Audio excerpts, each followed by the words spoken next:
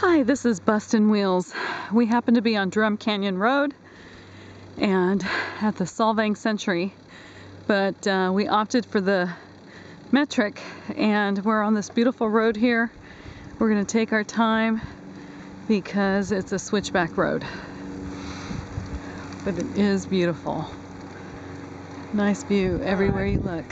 Making a video? Yeah.